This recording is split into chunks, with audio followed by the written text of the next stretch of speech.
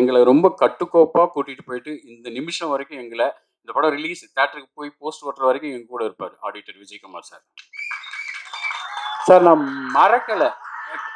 இல்லை அவர் அவர் அவருக்கு எனக்கு தெரிஞ்சு அவருக்கு ரசிகர் மன்றம்லாம் வந்துடுச்சு அதுக்கப்புறம் என் என் குழந்தை பிரதீக்ஷா அந்த சென்ட்ரி ஆடினாங்க இல்லையா? அந்த குழந்தைக்கு ரசிகர் மன்றம் விரைவில் வரும். பிரதீக்ஷாவுக்கு வரும். ராஜலட்சுமிக்கு வந்து ரசிகர் மன்றம் வரும். இன்னும் மறந்துட்டேன் சதீஷ். இந்த படத்தில் நடிச்சிருக்காரு. என்ன கேரக்டர் எதுவுமே கேட்கல அண்ணா நீங்கள் சொன்னீங்கன்னா ஓகேனான்னு வந்தார். பெரிய பெருந்தன்மை. அப்புறம் ஒரே ஒரு விஷயம் எடிட்டரை பற்றி பேசல. அதாவது ஒரு கட்டிங் போட்டு எவனாவது கதை சொல்லுவான் நீங்கள் கேட்டிருப்பீங்க. ஆ கூறுகா வாங்கும்போது கரெக்ட் கட்டிங் போட்டு கதை சொல்றவங்க நிறைய பேர் பார்த்துருப்பீங்க. என் படத்தை இவங்க கட்டிங்கில் பார்க்கும்போது எனக்கு வேற மாதிரி இருந்துச்சு. அதுதான் ஆண்டனி சாருடைய அசன்ஸ் இல்லையா?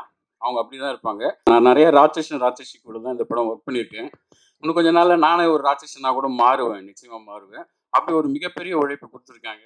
அவங்களுக்கு ரொம்ப நன்றி. அவங்க பேரண்ட்ஸ் வந்திருக்காங்க. சார் நீங்க கவலையே படாதீங்க அடுத்து என் படம் பண்ண மாட்டாங்க அவங்க.